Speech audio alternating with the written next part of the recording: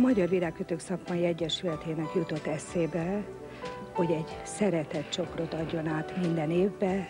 Az idén Koltai Róbert színművész kapta meg. Mit jelent önnek a szeretet, a szerelem, mint művésznek és magánembernek?